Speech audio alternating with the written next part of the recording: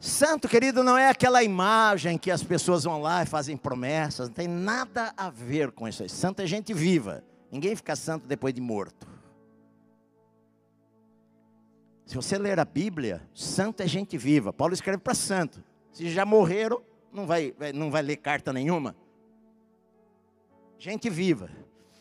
Santo, a palavra grega ágil significa separado.